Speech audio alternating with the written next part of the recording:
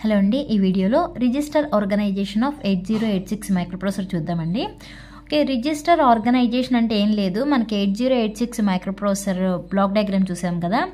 ఆ eight zero eight six ప్రాసెసర్లో ఏమేమి రిజిస్టర్స్ ఉన్నాయి? వాటి గురించి చెప్పేదాన్ని రిజిస్టర్ ఆర్గనైజేషన్ అంటారు. ఓకే అసలు first of all eight zero eight six microprocessor అనేది ఎన్ని బిట్ ప్రాసెసర్ అంటే?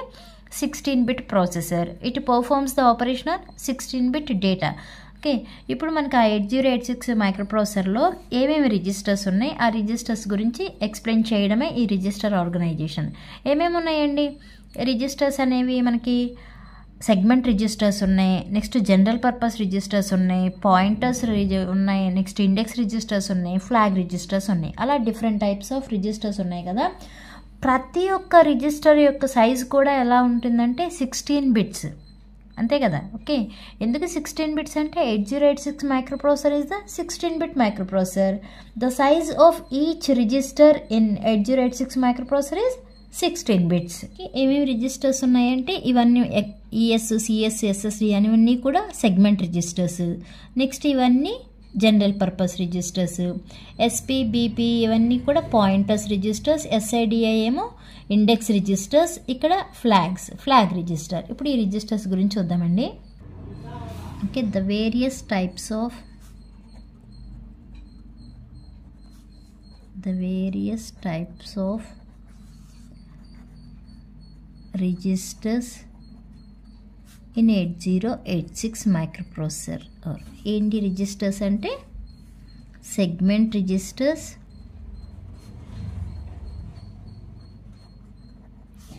Next general purpose registers. Next pointers and index registers. Pointers and index register.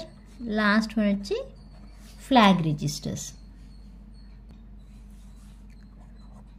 Okay flag registers. Okay first ప్రతి ఒక్క register యొక్క size sixteen bits.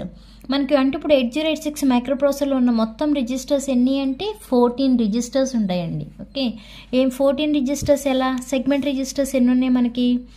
Code segment data segment extra segment stack segment. ఈ యొక్క ఫోరా next instruction pointer next general purpose registers ఎన్ని ఉన్నాయి four ఉన్నాయి కదా AX BX CX DX next pointer registers ఏమేమి ఉన్నాయి ఇంకా? స్టాక్ పాయింటర్ అలానే బేస్ పాయింటర్ ఉన్నాయి. ఇండెక్స్ రిజిస్టర్స్ ఏమేమి ఉన్నాయి? Source index destination index next ఇంకేమున్నాయి రిజిస్టర్స్ ఫ్లాగ్ రిజిస్టర్ మొత్తం కౌంట్ చేయండి. Okay one two three four five six seven eight nine ten eleven twelve thirteen fourteen అంటే ఎయిట్ జీరో ఎయిట్ సిక్స్ మైక్రోప్రాసెసర్లో మొత్తం ఎన్ని సిక్స్టీన్ బిట్ రిజిస్టర్స్ ఉన్నాయి అంటే మొత్తం ఫోర్టీన్ సిక్స్టీన్ బిట్ రిజిస్టర్స్ ఉన్నాయి. ఓకే? ఇప్పుడు దానిలో ఒక్కొక్కటి చూద్దామండి. ఫస్ట్ది ఏంటిది? జ సెగ్మెంట్ రిజిస్టర్స్.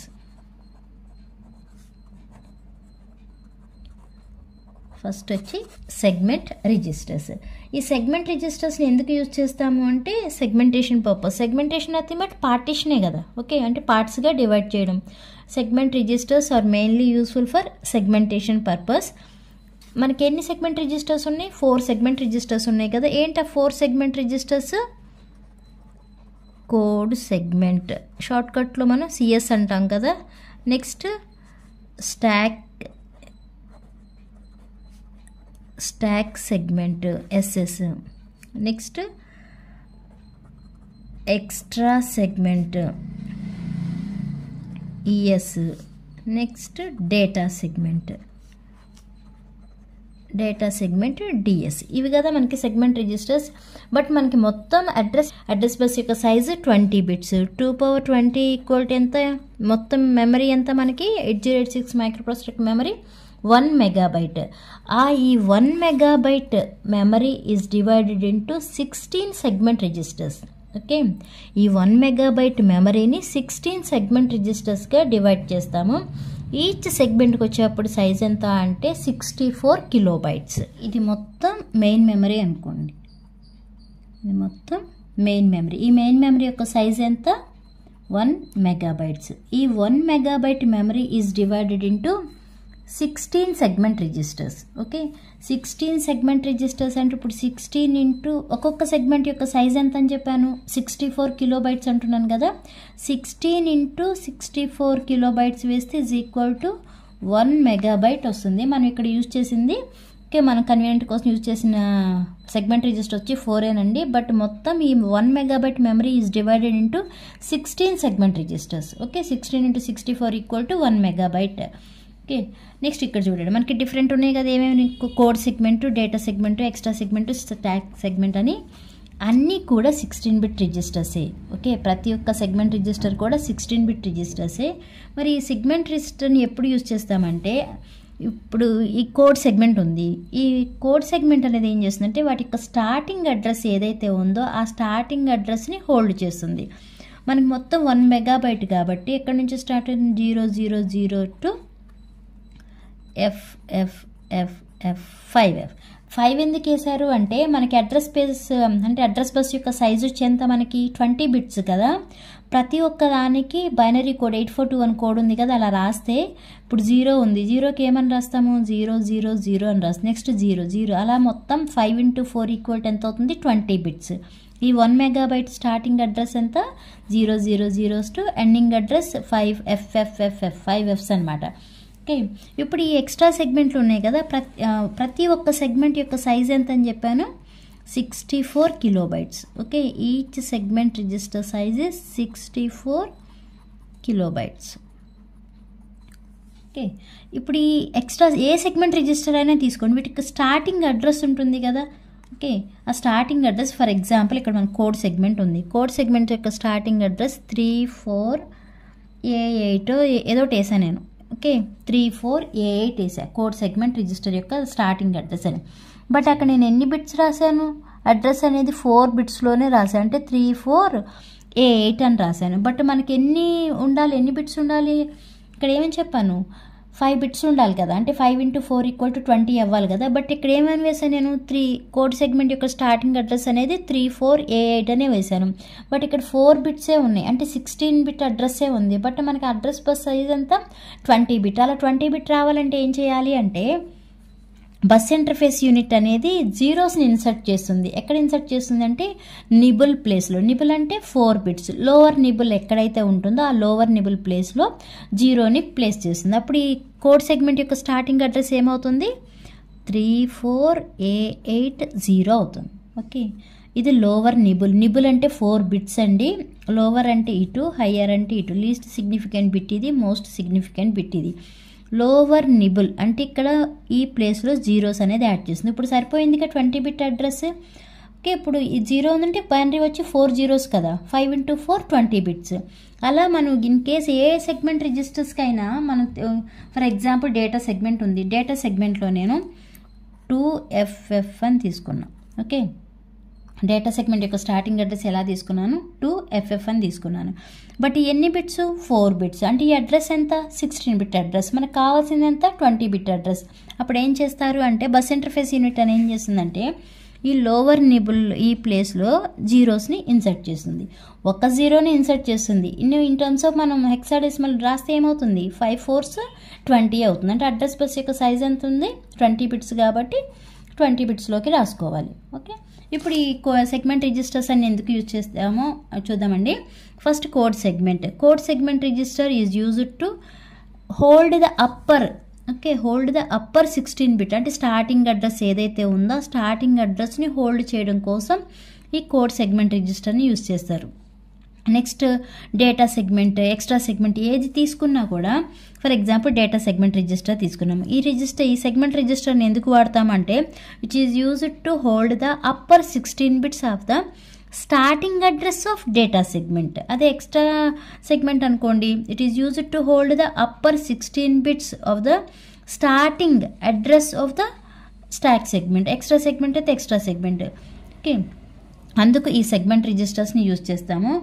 అలానే ఇంకా ఏంటి ఏం చెప్పొచ్చు అంటే కోడ్ సెగ్మెంట్ అనుకోండి. మనకి నేమ్లోనే ఉంది కదా కోడ్ అని. అంటే కో మనం ఏదైతే ఎగ్జిక్యూట్ చేద్దాం అనుకుంటున్నాం ఒక ప్రోగ్రామ్ ఆ ప్రోగ్రాంలో ఏముంటుంది? కోడే కదా. ఆ కోడ్ని స్టోర్ చేయడం కోసం ఈ కోడ్ సెగ్మెంట్ రిజిస్టర్ని యూజ్ చేస్తాము. అలానే స్టాక్ సెగ్మెంట్ని ఎప్పుడు యూజ్ చేస్తాము అంటే ఇంటరప్ట్స్ కానీ సబ్ రొటీన్స్ కానీ ఆర్ సబ్ ప్రోగ్రామ్స్ అలాంటి సిచ్యువేషన్లో ఈ స్టాక్ సెగ్మెంట్ రిజిస్టర్స్ని యూజ్ చేస్తాం. Next data segment registers extra segment registers ఈ రెండింటిని ఎందుకు యూజ్ చేస్తామంటే మనం ఏదైతే డేటాని పర్ఫామ్ చేయాలనుకుంటున్నామో ఓకే? అంటే for example move AX comma అని అంటున్నాం కదా. అంటే అలా ఒక డేటాని మీద ఆపరేషన్ పర్ఫామ్ చేయాలి కాబట్టి అలాంటి టైంలో యూజ్ చేసేవే ఈ డేటా సెగ్మెంట్ అలానే ఎక్స్ట్రా సెగ్మెంట్ రిజిస్టర్స్. ఇది మీకు segment registers. Next ఏమన్నామండి? General purpose registers. Next వచ్చేప్పటికి జనరల్ పర్పస్ రిజిస్టర్స్ ఎన్ని ఉన్నాయండి జనరల్ పర్పస్ రిజిస్టర్స్ మొత్తం? ఫోర్ ఉన్నాయి కదా? ఏంటి ఆ four AX BX CX DX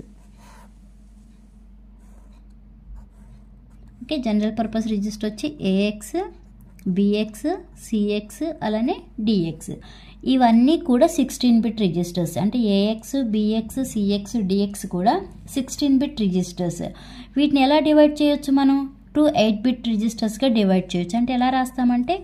AH AL BH BL CH CL DH DL ఇవి వచ్చి ఎయిట్ బిట్ రిజిస్టర్స్ ఓకే అంటే మనం ఎయిట్ జీరో ఎయిట్ సిక్స్ మైక్రోప్రాసెసర్లో ఎయిట్ బిట్ ఆపరేషన్ పర్ఫామ్ చేయొచ్చు. అలానే సిక్స్టీన్ బిట్ ఆపరేషన్ కూడా పర్ఫామ్ చేయొచ్చు. ఓకే ఇప్పుడు ఏఎక్స్ అంటున్నాం కదా. ఏఎక్స్ అంటే అక్యూములేటర్ రిజిస్టర్ ఇక్కడ నేను ఎలా డివైడ్ చేశాను? ఏహెచ్ ఏఎల్ అని డివైడ్ చేశాను. ఏహెచ్ అంటే accumulator higher order byte byte is nothing but bit eight bits is nothing but one byte కదా. Higher order byte AL is the accumulator lower order byte లేదంటే AH is the accumulator higher order bits AL is the accumulator lower order bits అని కూడా అనొచ్చు. Next BX BX అనేది sixteen bit register that is divided into two eight bit registers that are the BH and BL okay base BX అంటే base register base higher order bits base lower order bits next CX is the counter register count higher order bits count lower order bits next DX DX అంటే data register data register అంటే data higher order bits అలానే data lower order bits okay ఇక్కడ మనం accumulator రిజిస్టర్ని default register అనొచ్చు. Default register అంటే ఏంటంటే మనం ఇప్పుడు move AL comma one two H అని రాసి హెచ్ అంటే హెక్సాడెసిమల్ అండి. నెక్స్ట్ మూవ్ బిఎల్ కామా ఏమని రాస్తున్నాను.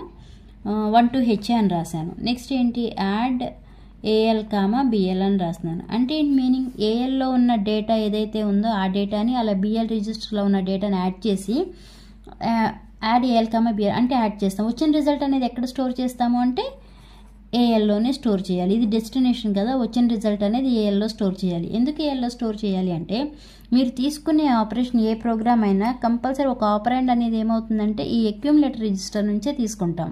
ఓకే. అందుకే accumulator AX or AH or AL అనేవి డిఫాల్ట్ రిజిస్టర్ అని చెప్పొచ్చు. నెక్స్ట్ వచ్చేప్పటికి pointers and index registers okay ఈ పాయింటర్స్ ఇండెక్స్ రిజిస్టర్స్ కూడా అన్ని సిక్స్టీన్ బిట్ రిజిస్టర్సే వీటిని మనం ఆఫ్సెట్ రిజిస్టర్స్ అనొచ్చు. నెక్స్ట్ స్పెషల్ పర్పస్ రిజిస్టర్స్ అని కూడా అనొచ్చు. Okay pointers and index index registers are the offset registers are special purpose registers ఇక్కడ మనకు చూడండి.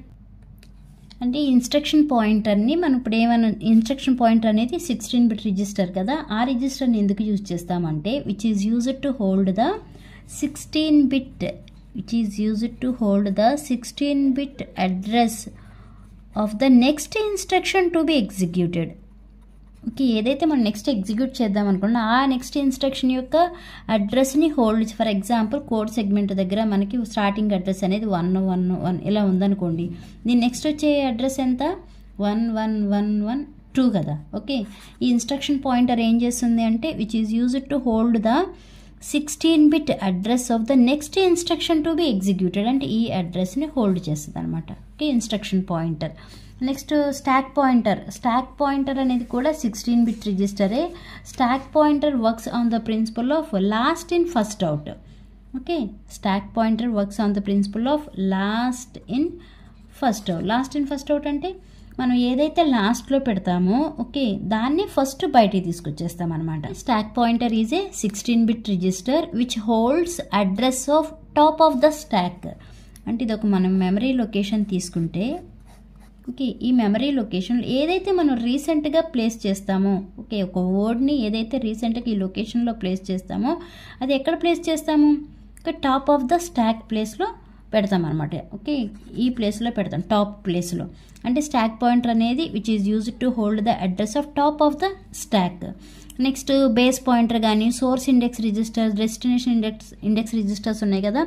ఇవన్నీ కూడా సిక్స్టీన్ బిట్ రిజిస్టర్సే. వీటిని ఎలా యూజ్ చేస్తాము అంటే డేటాని టెంపరీగా స్టోర్ చేయడం కోసం ఈ అంటే లైక్ జనరల్ పర్పస్ రిజిస్టర్స్ లాగా వాడతాం అనమాట బట్ మెయిన్ పర్పస్ ఏంటి అంటే ఆ వాటి డేటాని హోల్డ్ చేయడం కోసం ఈ రిజిస్టర్స్ని వాడతాం. ఏ registers? Base point registers source index register అలానే డెస్టినేషన్ ఇండెక్స్ రిజిస్టర్స్.